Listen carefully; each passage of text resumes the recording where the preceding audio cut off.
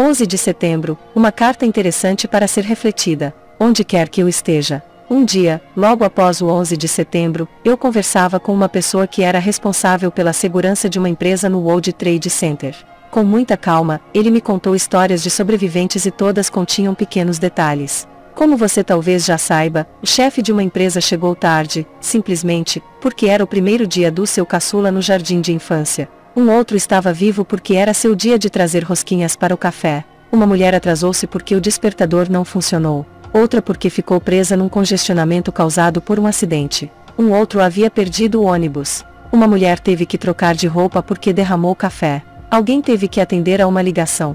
O filho de outro se demorou em sair da cama. Alguém não encontrava um táxi. Muitas outras histórias, pequenos detalhes, contratempos, talvez, algum dia, seja escrito num livro. E aquele homem com quem eu conversava estava vivo porque naquele dia estava usando sapatos novos que lhe causaram uma bolha no pé e teve que parar numa farmácia para comprar um band-aid, band-aid, JJ. Hoje, quando pego um congestionamento de trânsito, perco um elevador, atendo uma ligação no momento de uma saída, pequenas coisas que me aborreciam, penso comigo, estou exatamente onde Deus quer que eu esteja neste momento. Que Deus continue a abençoar você com todos estes pequenos aborrecimentos que o faça lembrar de seus propósitos. Na próxima vez em que parecer que se levantou com o pé esquerdo, seus filhos demorando em se vestir, não lembrar onde deixou as chaves do carro, pegar todos os semáforos fechados no caminho do trabalho, não fique triste, não se irrite, não se sinta frustrado, louve a Deus, e agradeça, porque Ele está cuidando de você. Nem sempre compreendemos os desígnios de Deus. Acredito que Ele queira sempre o melhor para nós, o difícil é ler suas entrelinhas. Na caminhada da vida, aprendi que nem sempre temos o que queremos. Porque nem sempre o que queremos nos faz bem. Foi preciso sentir dor, para que eu aprendesse com as lágrimas. Foi necessário o riso, para que eu não me enclausurasse com o tempo. Foram precisas as pedras, para que eu construísse meu caminho. Foram fundamentais as flores, para que eu me alegrasse na caminhada. Foi imprescindível a fé, para que eu não perdesse a esperança. Foi preciso perder, para que ganhasse de verdade. Foi no silêncio que me escutaram com clareza, pois sem provas não tem aprovação, e a vitória sem conquista é ilusão. E a maior virtude dos fortes é o perdão. A mochila e as pedras, um fervoroso devoto estava atravessando uma fase muito penosa de sua vida, com graves problemas de saúde em família e sérias dificuldades financeiras. Por isso orava diariamente pedindo que o livrassem de tamanhas atribulações. Um dia, enquanto fazia suas preces, um anjo lhe apareceu, trazendo-lhe uma mochila e a seguinte mensagem: o Senhor se compadeceu da sua situação e lhe manda dizer que é para você colocar nesta mochila o máximo de pedras que conseguir, e carregá-la com você, em suas costas, por um ano, sem tirá-la por um instante sequer. Manda também lhe dizer que, se você fizer isso, no final desse tempo, ao abrir a mochila, terá uma grande alegria. E desapareceu, deixando o homem bastante confuso e revoltado. Como pode o Senhor brincar comigo dessa maneira? Eu oro sem cessar, pedindo a sua ajuda, e ele me manda carregar pedras. Já não me bastam os tormentos e provações que estou vivendo, pensava o devoto. Mas, ao contar para sua mulher a estranha ordem que receberá do Senhor, ela lhe disse que talvez fosse prudente seguir as determinações dos céus, e concluiu dizendo: Deus sempre sabe o que faz. O homem estava decidido a não fazer o que o Senhor lhe ordenara, mas, por via das dúvidas, resolveu cumpri-la em parte, após ouvir a recomendação da sua mulher.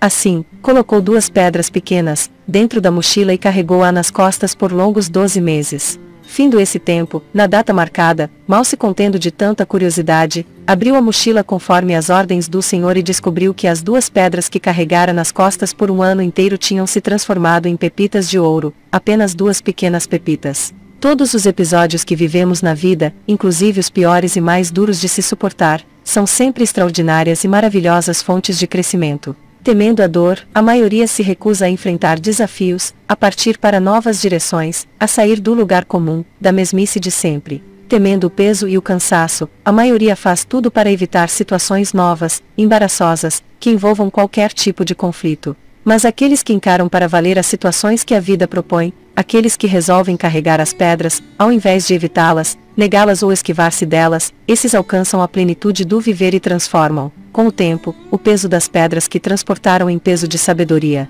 Como está sua mochila? Aconteça o que acontecer na sua vida, não perca a sua paz interior, ela é a força que você precisa para manter-se em equilíbrio mesmo durante as piores tempestades. Nessa época de pessoas atormentadas por pesadelos, por frustrações e sonhos desfeitos, manter a paz é fundamental para não cair nas armadilhas da depressão. A carga de informação que você recebe durante o seu dia, a pressão do trabalho, dos estudos e dos relacionamentos, acaba deixando seus nervos em pedacinhos. Se você não estiver com o pensamento voltado para o seu bem-estar, você não consegue manter o equilíbrio e ai, o seu fígado começa a sofrer as primeiras consequências, daí para as doenças do estômago como a gastrite, a úlcera e outros nomes não muito recomendáveis, é um passo. É preciso que você coloque filtros em sua vida, e ao receber as notícias, sejam elas quais forem, analisar e rapidamente descartar o que não for realmente importante para a sua caminhada. Manter-se em paz é um exercício diário, porque muitos obstáculos estarão presentes no seu dia a dia, a começar pelo seu lar, onde sob o mesmo teto reúnem-se pessoas que não compartilham as mesmas ideias que você. No trabalho outros problemas nos aguardam. Manter o emprego está cada vez mais difícil, devido à enorme competição imposta pelas empresas entre os funcionários, tornando o clima às vezes infernal e insuportável. Para complicar tem o seu relacionamento que anda às vezes tão complicado por coisas tão bobas, que você fica pensando, será que vale a pena? E quando você está a sós, fica imaginando que não nasceu para amar e ser amado, que os anjos te esqueceram e outras besteiras que a solidão causa. Tudo isso e mais aqueles amigos que acreditam que você é poderoso e usam seu ombro como se fosse um grande muro das lamentações e deixam você mais carregado de energias nada boas. Cuide-se enquanto é tempo. Para que sua paz continue, use estas regrinhas básicas, use o bom senso ao ler as notícias. Pare de ir no embalo dos alarmistas de plantão. Ao entrar no local de trabalho, faça uma prece em silêncio e cumprimente a todos com alegria. Respeite-se, se não estiver com vontade de falar com ninguém, Retire-se e pare de fingir que está tudo bem. Peça ajuda. Para ajudar alguém precisamos estar muito bem. Se você não estiver bem, esqueça, você vai prejudicar a você e a quem pediu ajuda. A paz é uma conquista daqueles que se amam. Ame-se pelo amor de você mesmo. Ninguém tem o direito de invadir a sua paz e se o estão fazendo é porque você está permitindo. Reveja seus atos. Para manter a sua paz vale tudo: banhos relaxantes, orações, terapias e muito amor. A paz é um exercício diário. Sorria mais, relaxe, busque um cantinho dentro de você para ser feliz. Você é responsável pelo seu bem-estar. Estando feliz, o outro seguirá o seu exemplo. Acredite em você. Valorize-se. Você merece muito mais do que tem hoje, e vai conquistar se mantiver seu pensamento voltado para suas conquistas, sonhos e desejos. Só existem dois dias no ano em que nada pode ser feito. Um se chama ontem e outro amanhã. Portanto, hoje é o dia certo para amar, acreditar, fazer, e principalmente viver. Já perdoei erros quase imperdoáveis, tentei substituir pessoas insubstituíveis e esquecer pessoas inesquecíveis. Já fiz coisas por impulso, já me decepcionei com pessoas quando nunca pensei me decepcionar, mas também já decepcionei alguém. Já abracei para proteger, já dei risada quando não podia, já fiz amigos eternos, já amei e fui amado, mas também já fui rejeitado, já fui amado e não soube amar. Já gritei e pulei de tanta felicidade, já vivi de amor e fiz juras eternas, mas quebrei a cara muitas vezes. Já chorei ouvindo música e vendo fotos, já liguei só para escutar uma voz, já me apaixonei por um sorriso, já pensei que fosse morrer de tanta saudade, tive medo de perder alguém especial, e acabei perdendo. Mas sobrevivi. E ainda vivo. Não passo pela vida, e você também não deveria passar. Viva! Bom mesmo é ir à luta com determinação, abraçar a vida e viver com paixão, perder com classe e vencer com ousadia, porque o mundo pertence a quem se atreve e a vida é muito para ser insignificante. A vida é uma oportunidade, aproveita-a. A vida é beleza, admira-a. A vida é beatificação, saboreia. A vida é sonho, torna-o realidade. A vida é um desafio, enfrenta-o. A vida é um dever, cumpre-o. A vida é um jogo, joga-o. A vida é preciosa, cuida-a. A vida é riqueza, conserva-a. A vida é amor, goza-a. A vida é um mistério, desvela-o. A vida é promessa, cumpre-a. A vida é tristeza, supera-a. A vida é um hino, canta-o. A vida é um combate, aceita-o. A vida é tragédia, domina-a. A vida é aventura, afronta-a. A vida é felicidade, merece-a. A vida é a vida, defende-a. Não importa o que acontecer na sua vida, os caminhos que você escolher, as dificuldades que vai encarar, se tiver Deus e a fé no coração tudo estará bem. Acredite na caminhada e na história de Jesus e sempre que estiver em dúvida pergunte a si mesmo, o que Jesus faria? Ele irá lhe guiar, amigo. Tenha sempre fé. Acreditar que a nossa vida não é melhor ou pior do que a de ninguém. Nunca sentir-se maior ou menor, mas igual. Fazer o bem sem olhar a quem e não esperar nada em troca. é uma maneira de encontrar a felicidade. Procurar sorrir sempre, mesmo diante das dificuldades e não se envergonhar das lágrimas, diante da necessidade, é outra maneira de irmos ao encontro dela. Ser humilde, prestar favores sem recompensas, abrir as mãos e oferecer ajuda, é uma maneira de buscar a felicidade. Chorar e sofrer, mas lutar e procurar vencer, sem deixar o cansaço te derrotar, nem o desânimo ou o preconceito te dominar, é uma maneira de ganhar a felicidade. Aprender a defender seus ideais e a amar seus semelhantes, a conquistar seus amigos pelo que é e não pelo que queiram que seja, é mais uma maneira de abraçar a felicidade. Saber ganhar e saber perder é uma rara conquista, mas você consegue. Tenha fé, acredite em Deus. Viva cada momento de sua vida como se fosse o último. Faça de sua vida uma conquista de vitórias, uma virtude e aproveite tudo o que ela te der como oportunidade. Mesmo sofrendo, sofra amando, pois é através do amor que você encontrará as chaves para abrir as portas da felicidade. Acredite que Deus é a solução, Deus é cura para corações quebrados e almas angustiadas. Deus é força para os que caem, e para todos aqueles que não sabem como continuar. Não existem limites para aquele que criou todas as coisas. Não há ninguém a quem ele não possa tocar com seu amor. Confie em Deus de todo o coração e você sentirá como sua vida ganha um novo rumo. Aprendi com o mestre dos mestres que a arte de pensar é o tesouro dos sábios. Aprendi um pouco mais a pensar antes de reagir, a expor e não impor minhas ideias e a entender que cada pessoa é um ser único no palco da existência. Aprendi com o mestre da sensibilidade a navegar nas águas da emoção, a não ter medo da dor, a procurar um profundo significado para a vida e a perceber que nas coisas mais simples e anônimas se escondem os segredos da felicidade. Aprendi com o mestre da vida que viver é uma experiência única, belíssima, mas brevíssima. E, por saber que a vida passa tão rápido, sinto necessidade de compreender minhas limitações e aproveitar cada lágrima, sorriso, sucesso e fracasso como uma oportunidade preciosa de crescer.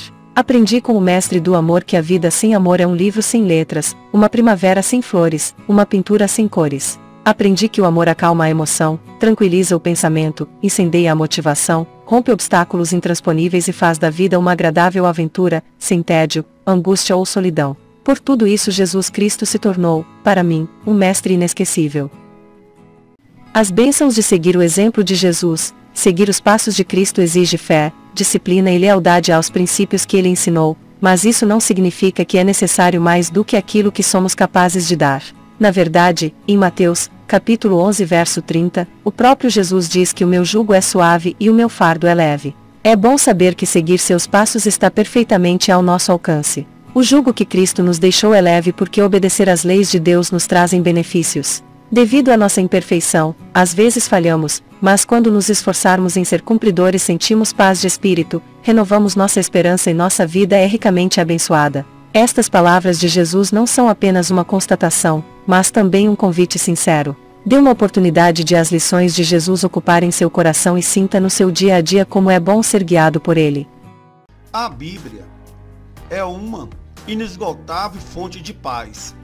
Por isso, já dizia o capítulo dos Romanos, 15, verso 13, que o Deus da esperança os encha de toda alegria e paz, por sua confiança nele, para que vocês transbordem de esperança pelo poder do Espírito Santo. Com Deus, Nunca estamos perdidos, é normal que por vezes nos sintamos perdidos e nos perguntando se realmente estamos no caminho certo ou se as decisões que tomamos são realmente as melhores para nós e para nossos semelhantes. Nessa hora é importante lembrar que Deus sempre está ao nosso lado e Ele nos deu todas as ferramentas para que, mesmo diante de situações adversas, consigamos superar tudo. Confie em Deus e, mais ainda, confie no que Ele lhe deu. Deus está conosco em todos os momentos, com fé, Ele nos proporciona todas as oportunidades para sermos dignos do seu amor. Confiar em Deus é aceitar que o destino a Ele pertence. Todos o sucesso que estarão destinados serão seus, desde que se mantenha no bom caminho. E mesmo quem esteja destinado provações ou até desilusões, deposite sua confiança em Deus, pois ele tem um motivo para tudo. Confiar somente em Deus é depositar em Nosso Senhor toda a nossa fé. É olhar para o céu e sentir que Ele está lá olhando por nós. Deus não deixa nada ao acaso. Tudo tem um motivo para acontecer. Temos que ser humildes e aceitar que Sua sabedoria é tão vasta quanto o universo e que nós, Como os mortais, jamais conseguiremos entender todos os gestos divinos, mas podemos e devemos confiar na Sua vontade e aceitar que o que Ele nos atribuiu é o melhor para nós. Confie em Deus, só Deus pode restaurar o que se quebrou em sua vida, só o amor de Deus pode te tirar da tristeza que sente agora e criar algo maravilhoso em sua vida. Deus é bom e misericordioso, e Ele não pede nada em troca, pede apenas que o você ame e confie em Ele. Só Deus pode trazer paz para aquilo que lhe aconteceu no passado, só Deus pode trazer um sentido para a sua vida no presente, e esperança no futuro. Os planos de Deus para nós são muito maiores do que os nossos sonhos. Nós, com a nossa pouca sabedoria humana, não sabemos dar o devido valor àquilo que realmente importa na vida, mas Deus, às vezes a duras pedras, nos mostra o que é importante de verdade. Quando você estiver triste, feche os olhos, fique em silêncio e se aproxime de Deus. Quando oramos, nós falamos com Deus, mas quando meditamos, permitimos que Deus fale conosco, e é preciso saber sentir as palavras de Deus em nossa vida. Se você confia em Deus, não há o que temer. Faça a sua fé ser maior do que o seu medo. Confie sempre em Deus, confie em Deus acima de tudo, pois Ele estará presente quando mais ninguém estiver. O poder dele não tem limites e será usado em nosso benefício nos momentos mais angustiantes da nossa vida. Deixe-se guiar por ele, procure uma orientação superior à dos homens. Deus sabe o que é o melhor para nós e sempre nos mostrará o caminho que devemos seguir. Deposite sua confiança no Deus que não falha, confie em Deus o dia inteiro, mesmo enfrentando tribulações e até quando desistir parece ser a única solução. Tenha fé no poder que só Ele pode lhe dar e receba essa dádiva especial que ajudará você a conquistar o que parece impossível. Com o Criador de todas as coisas ao seu lado não existem razões para duvidar ou temer. Agarre-se à esperança de que Deus intercederá a seu favor e siga em frente com determinação. Deus ajudará você a ultrapassar esse momento difícil, Pai. Vou orar a Deus por você, Pai. Vou pedir que cuide de você e em dê forças para recuperar desse problema de saúde. Para Deus não existe impossíveis. Ele é maior que qualquer adversidade. Tenha fé, confie que Deus estará do seu lado nessa circunstância difícil e quando menos esperar, tudo estará ultrapassado. Deus cuida de mim e eu nada temo, não temo o mal, os problemas ou a tristeza, pois no meu coração tenho Deus e sei que Ele cuida de mim em todos os momentos. Apenas o Senhor me compreende, Ele conhece meu coração, meus sonhos e minhas aflições, e nas suas benditas mãos eu coloco minhas esperanças. Ele nunca me abandona e quando mais precisei Deus foi meu amigo, meu verdadeiro sustento na miséria. A Ele devo tudo e minha gratidão e amor são seus para sempre. Deus não é injusto e conhece os obstáculos que enfrentamos. Às vezes nos sentimos frustrados com nossas limitações e tristes por não conseguirmos dar a Deus o que demos em outros tempos. Mas nunca nos podemos esquecer que Deus não exige mais do que aquilo que somos capazes e que Ele sabe a fé que ainda reside no nosso coração. Hebreus, capítulo 6 verso 10 nos diz que Deus não é injusto, Ele não se esquecerá do trabalho de vocês e do amor que demonstraram por Ele. A vida é uma longa jornada onde atravessamos diversos obstáculos, altos e baixos, mas teremos sempre ao nosso lado alguém que nos estende sua misericórdia, que demonstra seu amor e que nos recompensará de acordo com o que sentimos por Ele. Deus nos amou para que amassemos do mesmo jeito, amados, visto que Deus assim nos amou, nós também devemos amar uns aos outros. 1 João, capítulo 4, verso 11. A forma como Deus sempre nos amou deve ser um exemplo para imitarmos todos os dias. O amor não deve ser apenas demonstrado nas ocasiões favoráveis e para com as pessoas com quem temos afinidade. O amor deve estar presente em todos os momentos da nossa vida e para com todas as pessoas, independentemente da sua raça, estatuto social ou religião. Deus nos ama desde o primeiro segundo ou último da nossa vida, e Ele está disposto a demonstrar sempre sua misericórdia, sua bondade e altruísmo. O mundo seria um lugar melhor se todos amassem da mesma forma. Não podemos mudar os outros, mas sem dúvida que podemos fazer, desde já, nossa parte. Deus olha por você. Deus é um Pai cuidadoso, zeloso e amoroso. Ele é onipresente, está ao nosso lado em todos os passos que damos. Ele é onisciente, sabe tudo o que acontece em nosso coração e em nossos pensamentos. É assim que Deus cuida de nós. Deus sempre olha por nós, Ele cuida das nossas vidas, guia-nos no caminho do bem, abençoa a nossa jornada. Mas para que Deus faça a sua obra em nossas vidas, precisamos estar abertos a Ele. Precisamos aceitar os cuidados de Deus, ficarmos sensíveis às mensagens que Ele nos transmite. Como diz o ditado, Deus escreve certo por linhas tortas. Algumas vezes pode ser difícil para nós compreender as suas designações, mas devemos confiar na vontade do Senhor. Ele sempre sabe o que é melhor para nós, não apenas nesta vida mas pela eternidade. Deus sabe o que é melhor para você, floresça onde Deus te plantar, permita que seja Ele a determinar seu caminho e você sentirá sua vida ser plenamente abençoada. Deus, melhor do que nós, sabe do que somos capazes, conhece nossas virtudes e fragilidades, e Ele certamente tem preparado para você um caminho recheado de alegrias e conquistas. Não tema e avance, deixe brilhar a luz do seu coração. Você merece ser muito feliz e Deus certamente lhe proporcionará essa bênção. Deus, me ajude a encontrar o meu caminho. Deus, o que eu faço da minha vida? Como eu sei se estou seguindo o caminho certo ou se estou desviando do meu verdadeiro propósito? Sei que você está ouvindo a minha prece e sabe do meu suplício, por isso eu peço que me ajude iluminando minha trilha, guiando meu coração. Deus, ajude esta pobre alma que está perdida e precisa da sua mão. Deus, tudo o que eu faço é por você, pelo amor que me dá, a proteção que me oferece, as oportunidades que me apresenta. Por vezes sinto que estou sem direção, como uma criança perdida em um labirinto, mas então fecho meus olhos e sinto sua voz ecoando dentro de mim, me confortando e apaziguando minhas aflições. Com seu amor nunca fico sem rumo, pois não uma dúvida que não seja respondida pelo fé que tenho no Senhor.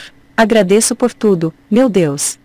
Deus, o que eu faço? Só a sua luz pode iluminar o meu caminho e me guiar nessa hora em que está tudo nebuloso e incerto. Minha fé é grande e meu amor não tem limites, mas sinto que estou me perdendo e preciso do seu consolo. Me ajude a fazer a sua vontade e cumprir com o plano que fez para mim. Nas suas mãos eu deposito toda a minha fé, pois só um amor como o seu é capaz de me mostrar meu verdadeiro valor. Eu aprendi que a melhor sala de aula do mundo está aos pés de uma pessoa mais velha, eu aprendi que ser gentil é mais importante do que estar certo, eu aprendi que eu sempre posso fazer uma prece por alguém quando não tenho a força para ajudá-lo de alguma outra forma, eu aprendi que não importa quanta seriedade a vida exija de você, Cada um de nós precisa de um amigo brincalhão para se divertir junto. Eu aprendi que algumas vezes tudo o que precisamos é de uma mão para segurar e um coração para nos entender, eu aprendi que deveríamos ser gratos a Deus por não nos dar tudo o que lhe pedimos, eu aprendi que dinheiro não compra classe, eu aprendi que são os pequenos acontecimentos diários que tornam a vida espetacular, eu aprendi que debaixo da casca grossa existe uma pessoa que deseja ser apreciada, compreendida e amada, eu aprendi que Deus não fez tudo num só dia, o que me faz pensar que eu possa. Eu aprendi que ignorar os fatos não os altera, eu aprendi que o amor, e não o tempo, é que cura todas as feridas, eu aprendi que cada pessoa que a gente conhece deve ser saudada com um sorriso, eu aprendi que ninguém é perfeito até que você se apaixone por essa pessoa, eu aprendi que a vida é dura, mas eu sou mais ainda, eu aprendi que as oportunidades nunca são perdidas, alguém vai aproveitar as que você perdeu. Eu aprendi que quando o ancoradouro se torna amargo a felicidade vai aportar em outro lugar. Eu aprendi que devemos sempre ter palavras doces e gentis pois amanhã talvez tenhamos que engoli-las. Eu aprendi que um sorriso é a maneira mais barata de melhorar sua aparência. Eu aprendi que todos querem viver no topo da montanha, mas toda felicidade e crescimento ocorre quando você está escalando a. Eu aprendi que quanto menos tempo tenho, mais coisas consigo fazer. Como em todo salmo, há a esperança e a certeza de que existe um Deus de misericórdia. O Senhor dá força ao seu povo, o Senhor dá a seu povo a bênção da paz. Salmos 29 verso 11.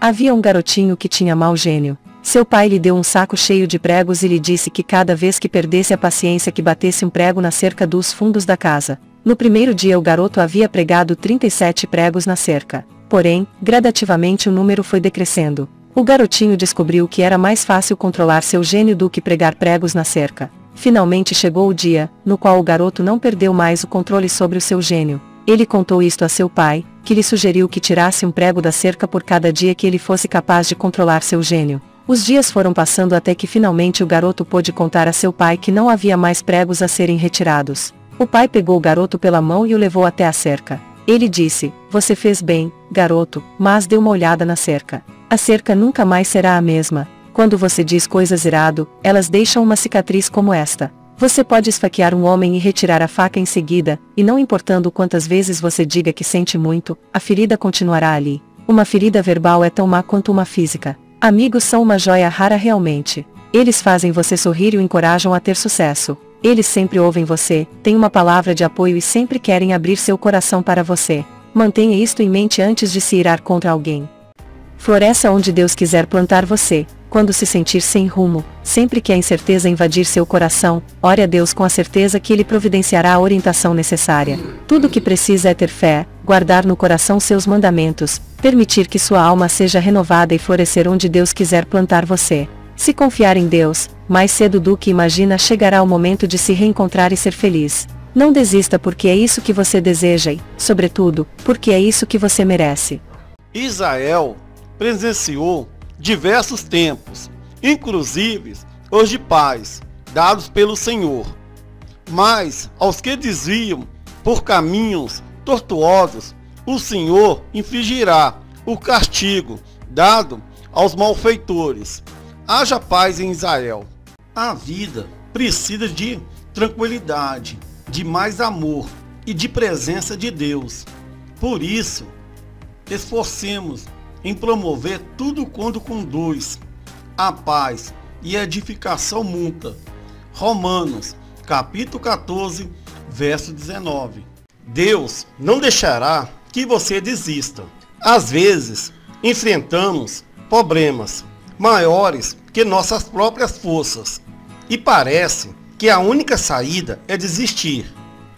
Mas acredite que você não está sozinho perante essas batalhas, pois Deus não abandona quem está de coração quebrantado. Ore o Pai Celestial e busque sua orientação. Procure consolo através das suas sagradas escrituras e você sentirá uma mão divina guiando seus passos para longe da escuridão. Todo mundo já ouviu falar em gratidão e em como devemos sempre ser gratos pela vida que levamos, mas será que é só isso? A gratidão é muito mais do que só dizer obrigado. É uma forma de encarar a vida, de ver os dias, com leveza e plenitude. Aqui, vamos explicar um pouco do poder da gratidão e de como podemos cultivar este método na nossa vida. O que é a gratidão? O primeiro passo para praticar a gratidão é entender o que é. Muitas pessoas acham que é apenas dizer obrigado, mas a verdadeira gratidão vai muito além disso. Gratidão é sobre agradecer, mas também sobre aprender a apreciar os bons momentos, saber entender a importância dos pequenos gestos. Ser grato e praticar a gratidão é viver em paz com a sua espiritualidade e saber que a sua intenção perante os dias deve ser a de agradecer. Como cultivar a gratidão? Depois que você entender, realmente, o que é a gratidão, é hora de começar a agir. Aqui selecionamos algumas dicas de coisas práticas que você pode fazer para trazer o poder da gratidão para a sua vida. Aprecie os bons momentos. A vida é cheia de detalhes mágicos que às vezes, na pressa da rotina, nos passam despercebidos. Praticar a gratidão é, justamente, não deixar que estes momentos passem sem atenção. Sentiu um aroma de uma flor que você gosta? Agradeça. Viu o sorriso de uma criança? Agradeça. Realizou uma tarefa que exigiu seu esforço? Aprecie a você mesmo. Ser grato é saber que a vida passa rápido e todos os bons momentos, por mais pequenos que pareçam, devem ser apreciados. Cultive o bem. Cultivar o bem é cultivar a gratidão. Você pode fazer isso de várias maneiras no seu dia a dia. Seja gentil com as pessoas que encontra, seja gentil com você mesmo. Cuide da sua saúde, cuide dos outros. Cultive amizades, pergunte como os outros estão. Todos esses gestos são formas de cultivar o bem. Pratique a gentileza e verá que o mundo irá ser mais gentil com você também. Preste atenção nos pequenos gestos. Os pequenos gestos de bondade estão em todo lugar, basta estar atento. Seja grato quando alguém lhe diz um simples obrigado, ou quando alguém segura a porta para você entrar em algum lugar, quando alguém desconhecido lhe sorri na rua. Os pequenos gestos de beleza e de bondade estão por aí, basta você prestar atenção. Seja altruísta. A gratidão não funciona só para dentro, é necessário também colocá-la para fora. Ser altruísta faz parte do processo. Precisamos fazer o bem, senti-lo na pele e agradecer. Por isso, seja altruísta com o mundo ao seu redor. Ajude quem precisa e dê, também, aos outros, motivos para serem gratos. Encare as dificuldades com sabedoria. Quando uma dificuldade aparece no nosso caminho, haja com sabedoria. Não ceda no primeiro impulso, Muitas vezes, quando sofremos algum trauma, ou algo não sai como planejamos, o primeiro instinto é sentirmos raiva. Nessas horas, é necessário recuar e não agir. Haja com sabedoria para que possa agradecer depois. Agradeça. Por fim, o mais óbvio, agradeça. Agradeça diariamente, por tudo que já falamos e por tudo o mais que acha que deve agradecer. Agradeça por ter saúde, pela sua família, amigos. Seja o que for, mas seja grato. Qual, afinal, é o poder da gratidão? Afinal, o que a gratidão traz para a nossa vida? Qual o poder da gratidão e por que devemos praticá-la? Os benefícios da gratidão são vários. Ela nos ajuda física e mentalmente. Torna o nosso corpo e a nossa mente mais saudáveis. Um dos principais benefícios é a saúde. Pessoas que praticam a gratidão têm menos dores musculares e se sentem mais dispostas durante o dia. Além disso, pode aliviar o estresse e evita a depressão. Outro grande benefício é como a gratidão ajuda você nas suas relações. Agradecer e sentir-se grato é algo que muda nossa relação com o mundo e faz com que consigamos enxergar o outro com mais empatia. A gratidão também traz mais positividade para a sua vida, tornando você uma pessoa mais otimista. E conheceu Adão a Eva, sua mulher, e ela concebeu e deu à luz a Caim. E disse: Alcancei do Senhor um homem. E deu à luz mais a seu irmão Abel. E Abel foi pastor de ovelhas, e Caim foi lavrador da terra. E aconteceu ao cabo de dias que Caim trouxe do fruto da terra uma oferta ao Senhor. E Abel também trouxe dos primogênitos das suas ovelhas, e da sua gordura, e atentou o Senhor para Abel e para a sua oferta. Mas para Caim e para a sua oferta não atentou. Irou-se Caim fortemente, e descaiu-lhe o semblante. E o Senhor disse a Caim: Por que tiraste? E por que descaiu o teu semblante? Se bem fizeres, não é certo que serás aceito. E se não fizeres bem, o pecado jaz à porta, e sobre ti será o seu desejo, mas sobre ele deves dominar. E falou Caim com o seu irmão Abel, e sucedeu que, estando eles no campo, se levantou Caim contra o seu irmão Abel, e o matou. E disse o Senhor a Caim: Onde está Abel, teu irmão? E ele disse, Não sei, sou eu o guardador do meu irmão. E disse Deus, Que fizeste? A voz do sangue do teu irmão clama a mim desde a terra. E agora maldito és tu desde a terra, que abriu a sua boca para receber da tua mão o sangue do teu irmão.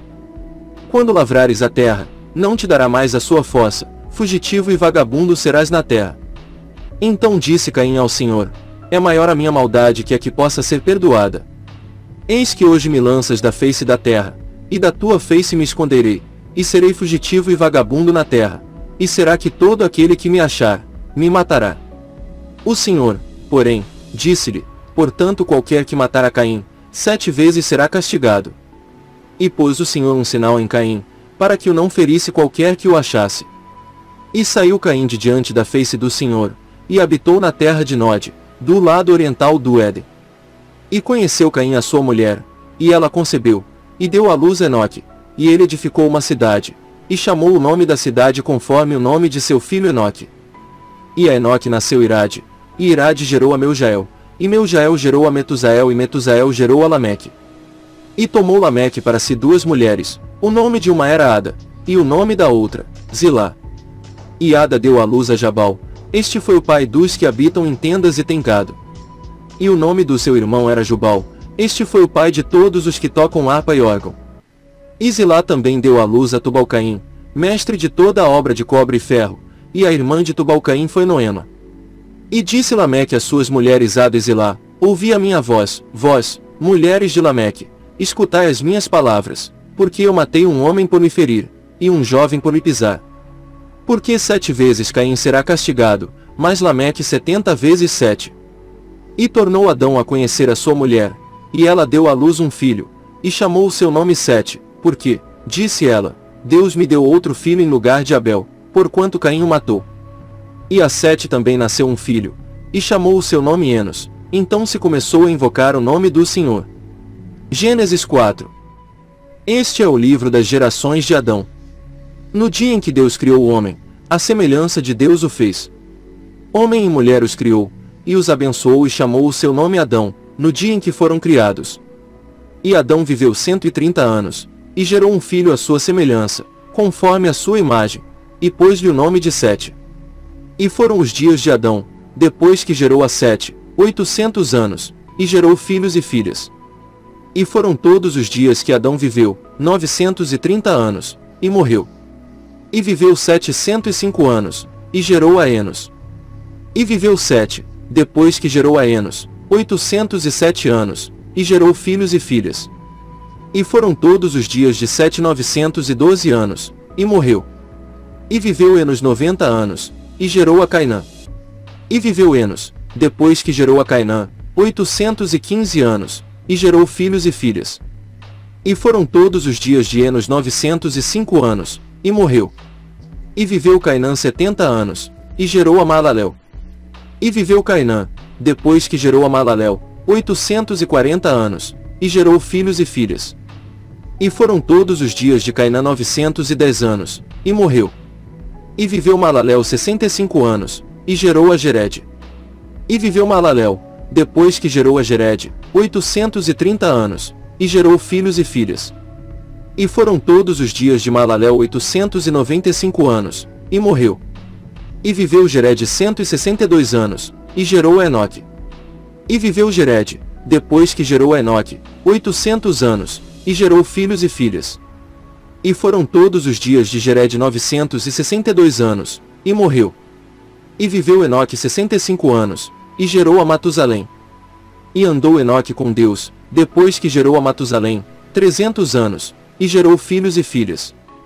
E foram todos os dias de Enoque 365 anos. E andou Enoque com Deus, e não apareceu mais, porquanto Deus para si o tomou.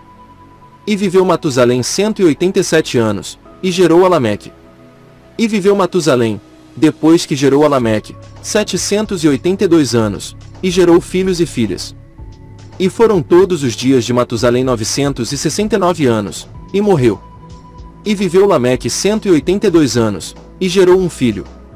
A quem chamou Noé, dizendo, Este nos consolará acerca de nossas obras e do trabalho de nossas mãos, por causa da terra que o Senhor amaldiçoou. E viveu Lameque, depois que gerou a Noé, 595 anos, e gerou filhos e filhas. E foram todos os dias de Lameque 777 anos, e morreu. E era Noé da idade de 500 anos, e gerou Noé a Sem, Cão e Jafé. Gênesis 5 Olá, meu querido irmão e minha querida irmã, que a paz do Senhor Jesus vem sobre a sua vida e sobre a sua família, hoje e sempre. Aqui é o pastor Emerson e nessa manhã eu desejo que o Senhor derrame sobre a sua vida toda sorte de bênçãos. Eu desejo que o Senhor fale no teu coração através dessa oração. Querido Deus e poderoso Pai, em nome do teu filho amado, Senhor Jesus Cristo, viemos nessa manhã, Senhor, te agradecer por essa oportunidade que o Senhor está nos dando agora, Senhor. Deus querido, Deus amado, abençoa nosso dia, que nosso dia seja um dia de vitória, que nosso dia seja um dia de testemunho, Senhor. Eu creio, Senhor, que o Senhor nos livrou de todo mal, de todo o laço do passarinheiro, de toda mordaste, de toda enfermidade. Eu creio, Senhor, meu Deus e meu Pai, que o teu Santo Espírito, Senhor, está segurando em nossa mão, vai nos ajudar a andar nos teus caminhos, Senhor, nos convencendo de fazer todas as coisas boas, nos ajudando nesse dia de hoje a conquistar a nossa vitória. Eu creio, Senhor, meu Deus e meu Pai, em nome do Senhor Jesus Cristo, que o Senhor vai estar colocando as oportunidades em nossas frentes, Senhor. Aquele que necessita de uma porta de emprego, eu creio, meu Deus e meu Pai, que essa porta já está aberta. Esse irmão, essa irmã, que está necessitando, Senhor, de uma cura, Senhor. Eu creio, Senhor, que nesta manhã, Senhor, o Senhor já está curando essa mulher, está curando esse homem, esta jovem, Senhor. Ah, Senhor, meu Deus e meu Pai, coloque os seus anjos ao nosso redor. Pai querido, Deus amado, toda obra do inimigo contra nossas vidas, Senhor, que caia por terra no nome de Jesus Cristo, Senhor, que nenhum mal, Senhor, chega diante de nós, diante, Senhor, nossas tendas, Senhor. Livra, meu Deus e meu Pai, nossos familiares. Livra, Senhor, meu Deus e meu Pai, nossos vizinhos, nossos amigos, Senhor, de toda seta maligna, de todo mal lançado pelo inimigo da nossa alma. Ah, Pai querido, Deus amado. Em nome do Senhor Jesus Cristo, eu te peço, Senhor, guarda a nossa vida, Senhor, do homem mau. Guarda a nossa vida, Senhor, de toda maldade, Senhor, que vem contra nós, Senhor, toda inveja, todo mal falar. Pai querido, Deus amado, eu te peço, Senhor, em nome do Senhor Jesus Cristo, Pai. Ah, Deus forte, Deus poderoso, Criador do céu e da terra. Em nome de Jesus, ó Pai, estamos aqui, Senhor, para te adorar. Estamos aqui, meu Deus, meu Pai, para te servir. Pai amado, eu peço, Senhor, para esse irmão, essa irmã que se encontra nos hospitais. Meu Deus e meu Pai, visita ali, Senhor, aquela ala médica, Senhor, meu Deus e meu Pai. Cura, Senhor, esse homem, cura, Senhor, essa mulher. Pai querido Deus amado, esse homem, Senhor, meu Deus e meu Pai que está na sua casa em desespero, Senhor, porque não tem nada de comer para colocar na mesa dos teus filhos. Ah, meu Deus e meu Pai, envia uma providência, meu Deus e meu Pai. Oh, Senhor, meu Deus e meu Pai, abasteça o celeiro dessa casa, meu Deus e meu Pai, que não é a faltar mantimento, Senhor, meu Deus e meu Pai, para essa família, meu Deus e meu Pai. Senhor, entra, Senhor, com a providência, entra, Senhor, na, ca na causa desse casal. Eu te peço, meu Deus e meu Pai, em nome de Jesus, Pai. Oh, querido amado Espírito Santo, seja bem-vindo em nossas vidas, Senhor. E eu te peço agora neste momento, todos aqueles que estiver ouvindo este vídeo, Senhor, esta oração, que o Senhor possa abençoar muito a vida desse irmão, a vida dessa irmã. Sim, meu Deus e meu Pai, que eu creio, Senhor, que o Senhor está ouvindo a oração desse, dessa família, Senhor, que está clamando por Ti, que está necessitando de uma bênção especial do Senhor. Ah, meu Deus e meu Pai, que nesse dia de hoje, Senhor, meu Deus, meu Pai, seja um dia de vitória, de bênção, em nome de Jesus. Assim, meu Deus e meu Pai, eu te agradeço pela sua humilde oração e eu creio, em nome de Jesus, que o Senhor nos ouviu orar neste momento e eu creio que a vitória é nossa, em nome de Jesus, em nome de Jesus. Amém. Olá, meu querido irmão, minha querida irmã, que a paz do Senhor Jesus Cristo vem sobre a sua vida e sobre a sua família, hoje e sempre. Aqui é o pastor Emerson e nesse dia te desejo que o Senhor derrame sobre sua vida toda sorte de bênção. Gostaria de estar orando para Deus para abençoar a sua vida hoje, no nome de Jesus Cristo. Ouve-me com teu clamo, ó Deus da minha justiça. Da angústia me deixe largueza. Tem misericórdia de mim e ouve a minha oração. Filhos dos homens, até quanto convertereis a minha glória infâmia? Até quando amareis a vaidade e buscareis a mentira? Sabeis, pois, que o Senhor separou para si aquele que é piedoso. O Senhor ouvirá quando eu clamar a ele. Perturbais vós e não pequeis. Falai com vosso coração sobre a vossa cama e calai vós. Oferecei sacrifício de justiça e confiai no Senhor. Muitos dizem que nos mostrará o bem. Senhor, exalta sobre nós a luz do teu rosto. Puseste alegria no meu coração, mais do que no tempo em que se eu multiplicaram o trigo e o vinho. Em paz também me deitei e dormirei, porque só tu, Senhor, me fazeis habitar em segurança. Glória a Deus. A vitória é nossa, no nome de Jesus. Mais uma vez, a vitória é nossa, no nome de Jesus. Amém. Olá, meu querido irmão, minha querida irmã. Que a paz do Senhor Jesus venha sobre a sua vida e sobre a sua família hoje e sempre. Aqui é o pastor Emerson e nesse dia eu te desejo que o Senhor derrame sobre sua vida toda sorte de bênção. Gostaria de convidar você para estar orando comigo hoje, para Deus abençoar a sua vida, em nome de Jesus Cristo. Amém? Fecha os teus olhos e fala com Deus. Dá ouvidos às minhas palavras, ó Senhor. Atende a minha meditação. Atende a voz do meu clamor, Rei meu e Deus meu, pois a ti orarei. Pela manhã ouvirás a minha voz, ó Senhor. Pela manhã apresentarei a ti a minha oração e vigiarei. Porque tu não és um Deus que tem prazer na iniquidade, nem contigo habitará o mal. Os loucos não pararão à tua vista. Odeias a todos que praticam a maldade. Oh, glória a Deus! Destruirá aqueles que falam a mentira. O Senhor aborrecerá o homem sanguinário e fraudulento.